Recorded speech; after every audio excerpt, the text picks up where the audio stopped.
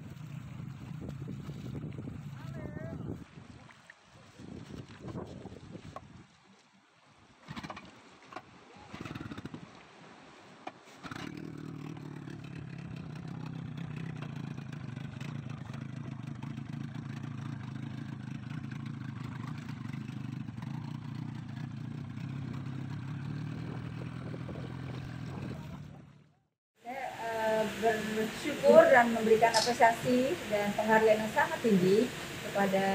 Badan Nasional Pencarian dan Pertolongan Republik Indonesia melalui perwakilan di Provinsi Banten Pak Zainal sebagai kepalanya.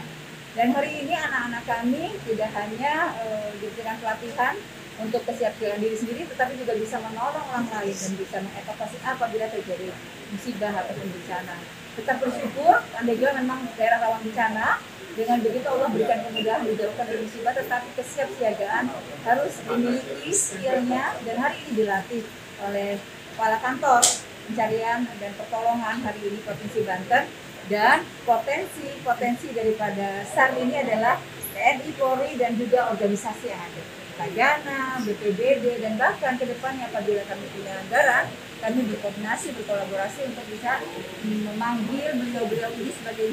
instrukturnya pemberi materinya untuk anak-anak kami juga pramuka, PMI dan lain sebagainya untuk dilatih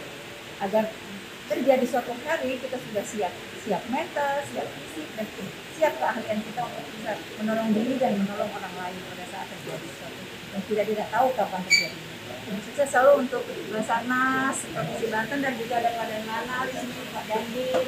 ini juga Jiko E juga ada semua yang diwakili Mas Idin, ya Kapolres diwakili 320 juga ada. Semuanya sukses, terima kasih atas eh, acara.